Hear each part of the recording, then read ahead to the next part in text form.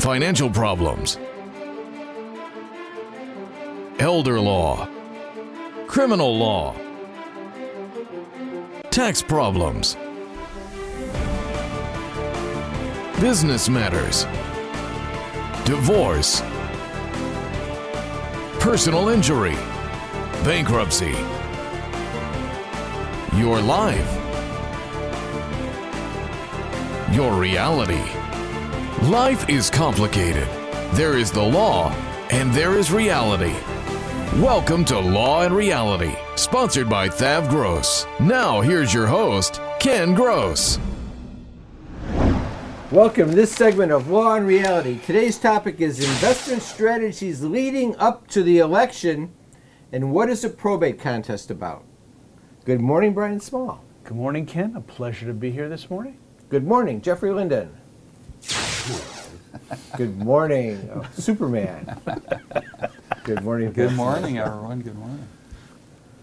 What was George Reeves? That was the original one. Yes. Do you know who George Reeves is? I do. Black and white Superman from the was that was that He the also thir- trans- was that the 30s? No, He I'm just kidding. transitioned to color. I'm just kidding. I believe it was the Kind of like you. late 50s and early 60s, wasn't it? Yes. Yes. I investments. All right, so let's talk about investments. Let's get right, right, right to it. All right, now before we talk about investments leading up to the election, I just want to kind of start with the ground base. And to me, the ground base is still the three-point retirement plan. You need to own your home free and clear, zero debt, cash in the bank. If you do that, you will have income generating to allow yourself to make save money and make investments. If you saddle yourself with debt, overhead, mortgage, two lease payments, thirty, three hundred thousand dollars of debt, a hundred or a thousand of it, which is credit card debt, the rest to the family, you won't have any money to invest. You, you buy that? I do buy that. Okay, so focus on if you're in your 40s and 50s, early 60s, focus on getting the house paid off. Once that mortgage payment is gone, you have extra cash flow, and then you invest it. And then Pat, who's an investment advisor, as well as a elder law expert, would be a good person to lead us in the discussion. Is there anything to do different in your mind because of the election? Well, uh, no, boy, that's a that's a big question, Ken. So the question is, should I time the market? Right, the election's coming up. What side of the fence on? You either think the market's going to go through the roof because we're going to get the right president, or the market's going to crash because we're going to get the wrong president.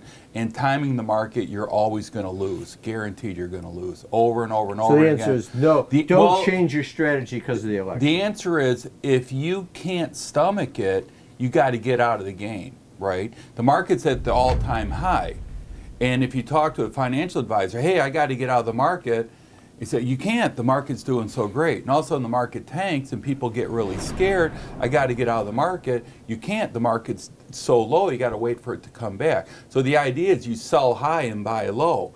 Trouble is everybody always gets that backwards, right? So if so you it's Somebody's easy, getting it right. it's such an Very easy concept, but it's hard to Well, do. if you could do it, you'd be in a 600 foot boat floating around in the Bahamas somewhere, right? Not after what happened last week with that boat that sank with the Well- three execs. Yeah. Well, you'd be on a different boat. One of which was Because a you just lawyer. buy another one. One was one was a You- lawyer. You, one was just an buy another 600 foot boat. No one can get it right. No one ever. So you either have to get in and stay in because the ups and downs don't matter. When you're putting money into your investments, sometimes you're buying in high and the market's down, and sometimes you're buying in low, and everything averages out. If you start trying to time the market, you're going to get right, get it right, wrong every right. time. That's a great concept in and of itself, but what about all these little various strategies? Like I keep reading about I'm over 60. Should I convert my That's IRA to a question. Roth IRA? No, well, that's a different. That's a tax plan. Now, this is investment. The issue is this: when I'm saving for retirement and I'm continuing to put into the market, the ups and downs don't matter because it averages out over the lifetime. Now, what you said, hey, I retired, I want to have an income that I'm going to live on for the rest of my life. That's a different strategy because now you're pulling out. And if you pull out to live on and the market's down, it can kill you later on.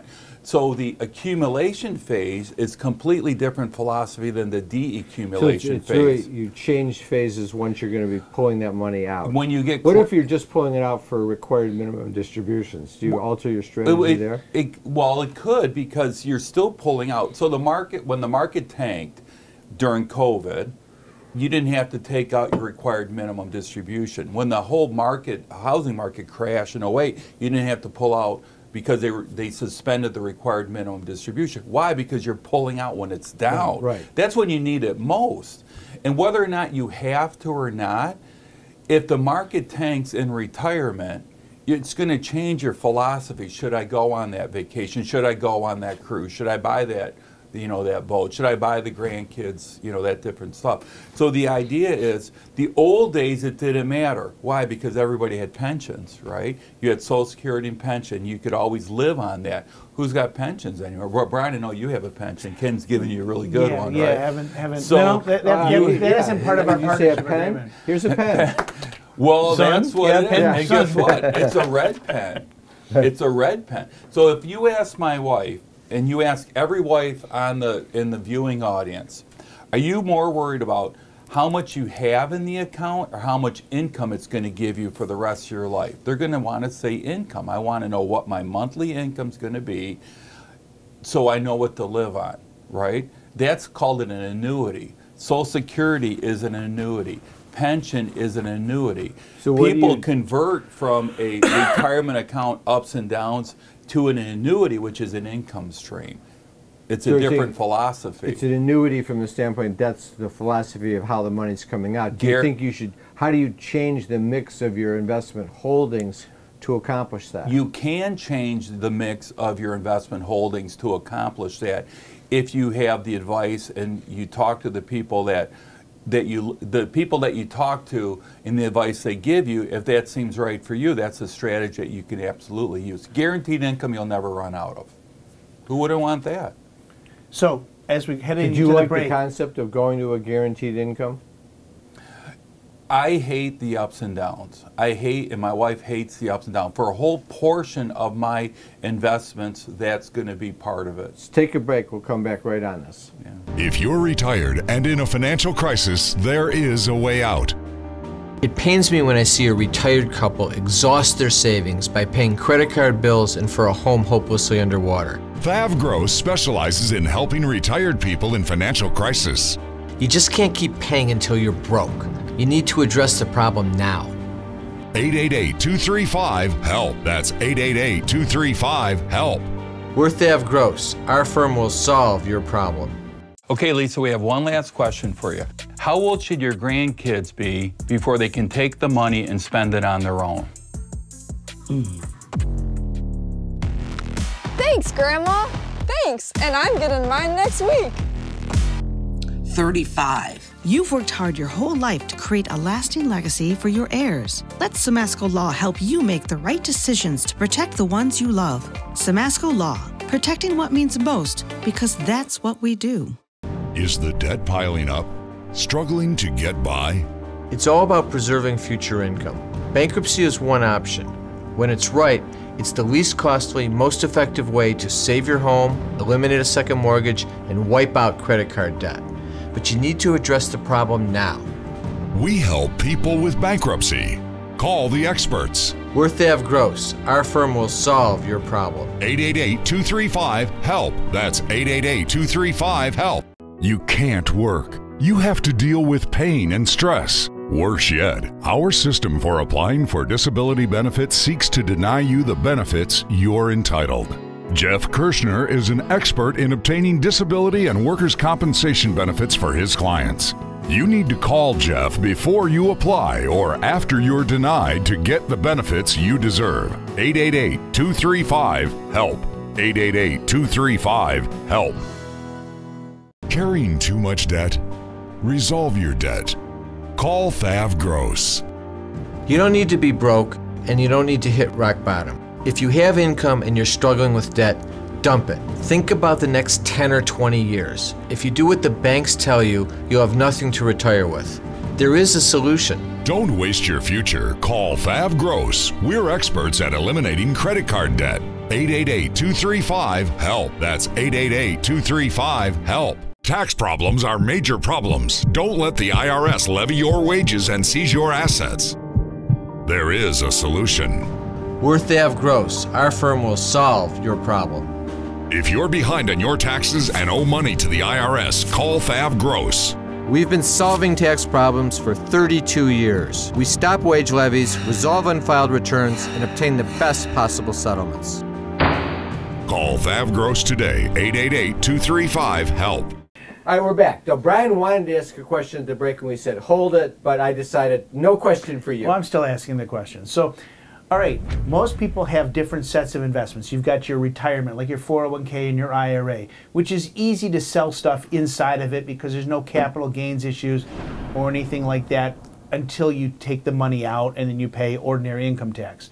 The harder issue is investing with post tax dollars and Your non-qualified money.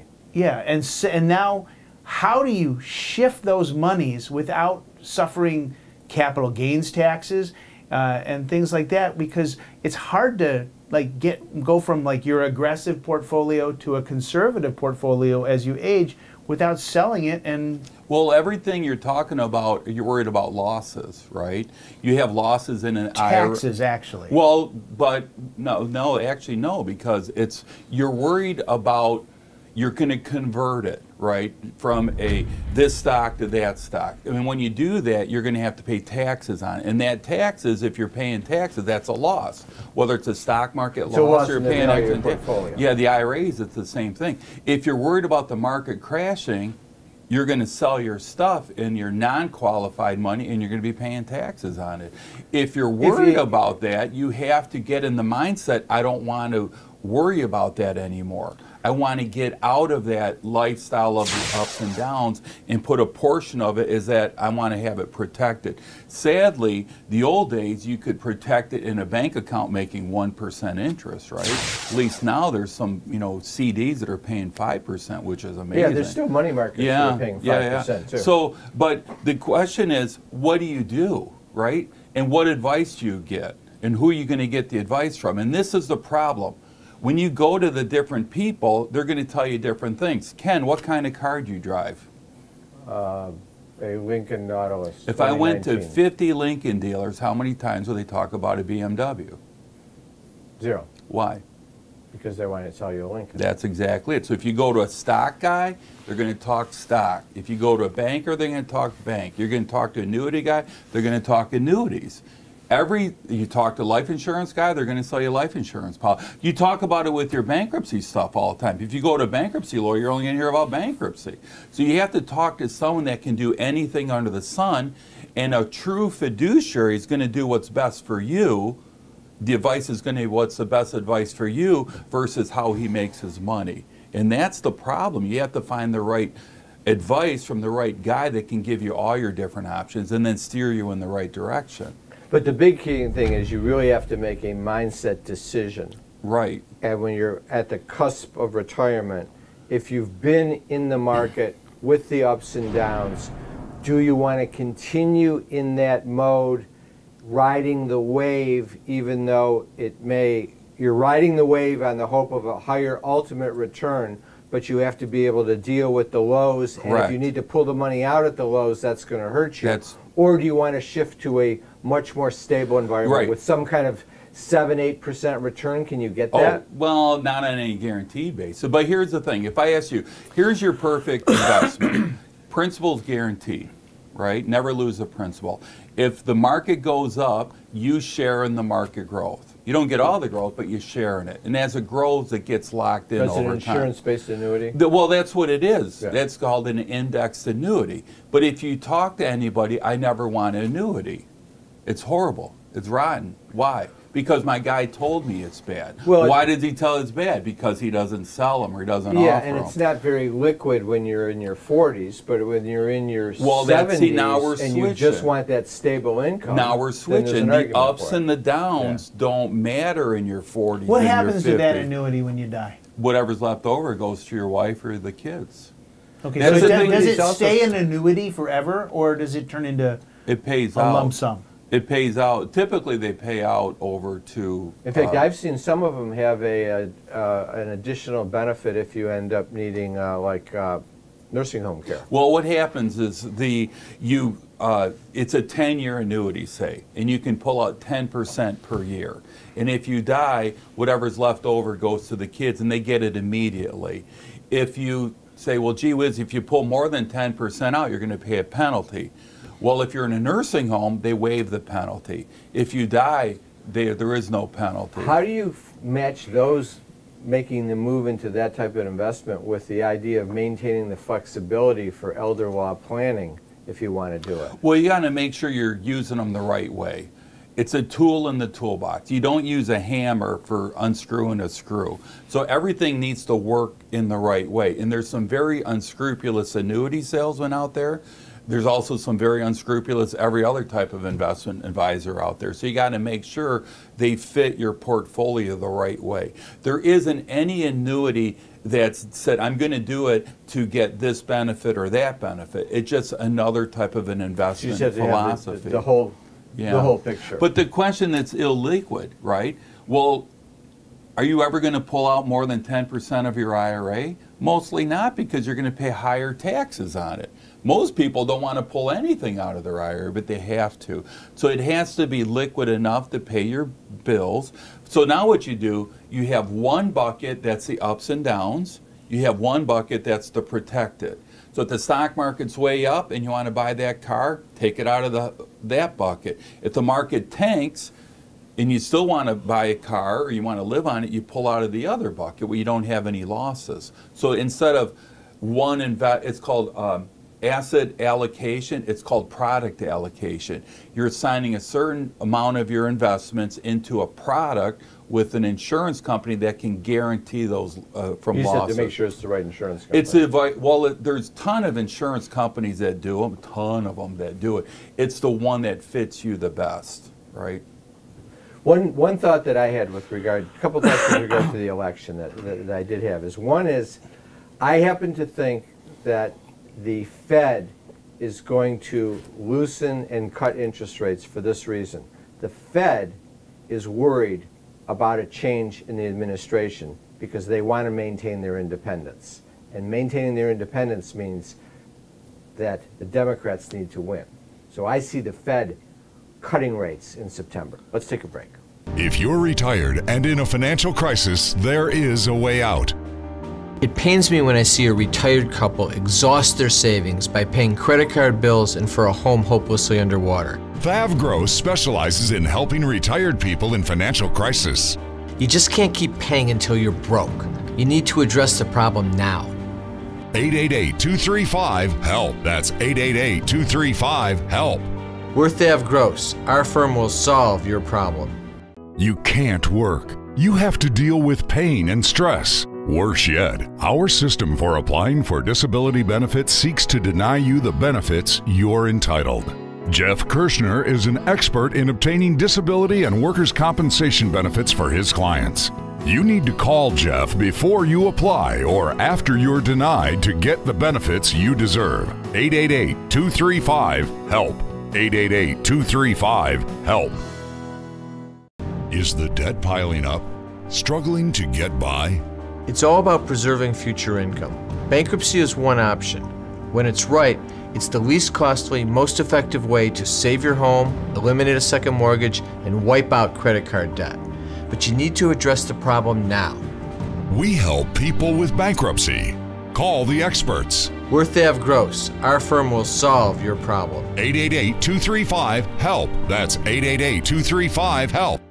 Time for announcements. Oh, and I announced we've opened, Thav Gross has opened a new office downriver in the Horizon building on Eureka Road. So now we're in Flint, downriver, and also our home office in Bingham Farms. Remember, you can always come in for a free consultation. You can do it by Zoom conference, in the office, any way that works best for you. Just call 888 235 HELP or go to the website, thavgross.com, to sign up. Debt issues, tax issues, estate planning issues, business law issues, elder law issues with Pat or Kelsey, disability issues with Jeff Kirschner.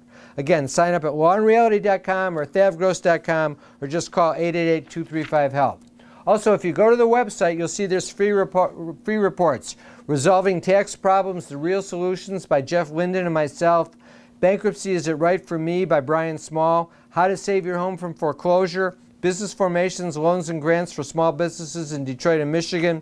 And The Retiree's Guide to Social Security by uh, Pat Simasko. I want to thank our sponsors, Stavros, Simasko Law, Kirschner Law.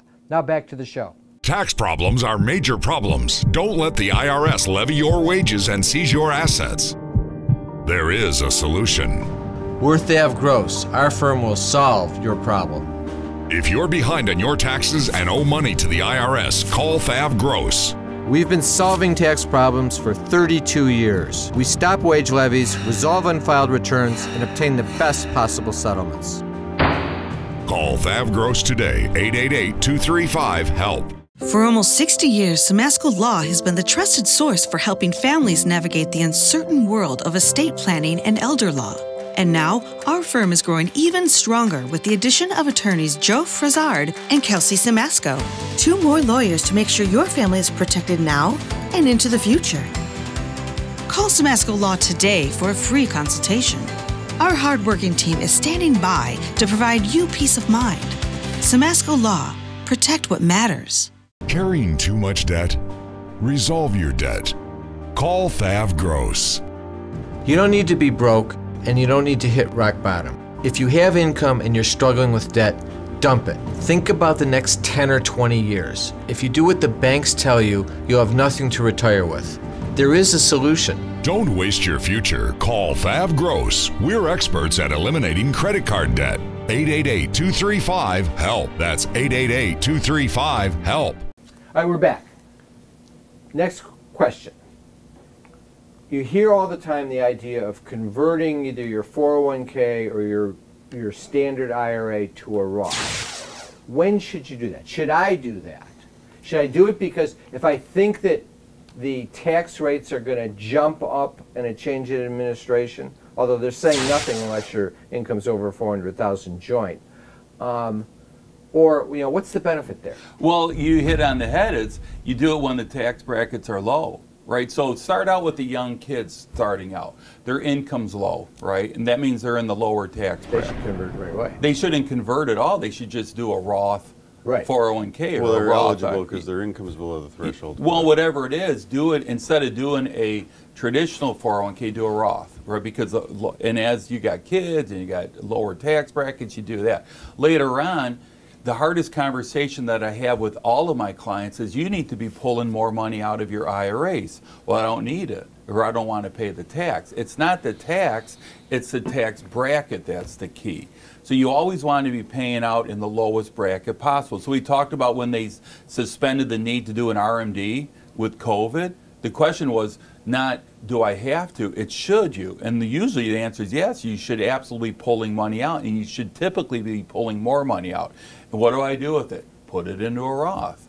Put it. And then But the- what so- happens? but it grows tax free at that point. So wait. And the beneficiaries get it tax free. So you free. you take your money out of the regular IRA. You're basically we're talking about people who are retired now should be pulling their money out when because you're they're in the lower when tax you're, bracket. Yeah, because when you stop working, you have to pull out when you're 73, but you stop working at 62.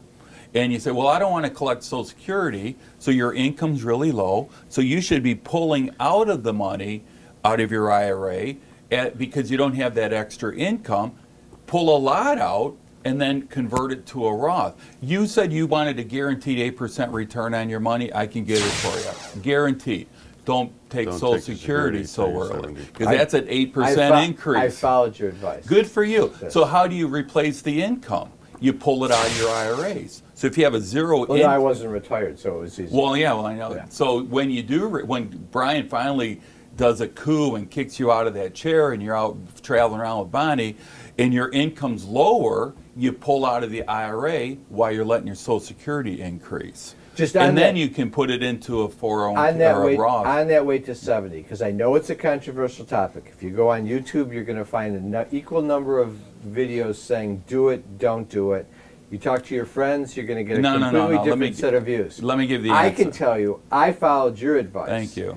And it was easy for me because I didn't need that money. Well, let me But jump I'm in. telling you, the benefit now became way better than it was because we went through that high inflation Yeah, the period. time. cost of living. It, it, it's like This it's is like a the good problem, pension. Ken. It's not you asking your friends because they usually say it's your money, you take it now. It's when you talk to your financial advisor. Hey, should I collect at 62?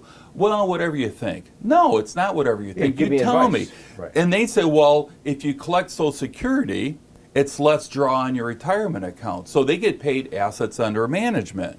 And if you're collecting Social Security, we can invest that money for you. There you go. You're, it's a less draw on your 401k and your IRA and blah, blah, blah. And they say, well, you do what you want. It's your money. Do what you want. No, you tell me. You should be drawing down on your IRAs with the lower tax bracket. And it's the Medicare surcharge. The more income you have, the higher your Medicare premium is. So you want to take the money out of the IRAs at the lower bracket. Here- Does it matter? Oh, it's even more interesting. Here's the that. question. Here's the question. Hang on. Politics. Married couple politics. versus Same thing. You get you can Politics. pull more money out. Let's talk politics. Married. No, let's not talk The- politics. Yeah, we're going to talk politics. Who in our viewing audience thinks tax brackets are going down in the future? not a human being. Not anybody. We just crossed the aisle. We're all on the same page. Brackets are going up. Taxes are probably going They're up. we going have up. to pay for all They're this going stuff. up, but whether they're going up that are going to affect the middle class up to, I mean, the There's no benchmark middle number class that's left. been out there now for, for five years. It's the lowest joint- brackets joint- we've ever Joint had. Joint income over 400,000, which really excludes 99% of the public. You So know, it's the not- 20. You want to keep in the 20. You absolutely keep in the 15% bracket. You want to keep within the 22% bracket for most people. Then look at the kids, because when you die, your kids inherit your IRAs. They're working. They have Pa- to pull it pa- out over pa- 10 pause years. for a second because we have one minute left. Even if you have you're in the relatively high income bracket, the question is by pulling it out, paying the tax on the Roth, then you get the accumulation tax free, and when the money does get pulled out, there's no tax. That still makes for an argument to do it, even if let's say you're in a 30% bracket. It all matters on your kids because what are your kids' bracket? Because they get it when you die at their bracket. So if you're working, you're making 50 grand a year, you die and your kids are making $300,000 a year, you got to max out your bracket. opposite true. If you're a federal employee and you have really good pension and really good income and your bracket's up here and your kid works at Subway, you take out the minimum because when they get it, and every parent says the same thing I don't care, my kids get it, they have to pay the tax, they're getting enough. But that's wrong, you're giving it to the IRS. You love giving money to the IRS, Jeff. No. Brian does. No. On that not what note, we'll take we'll, we'll say goodbye. See you next week. Thanks for joining.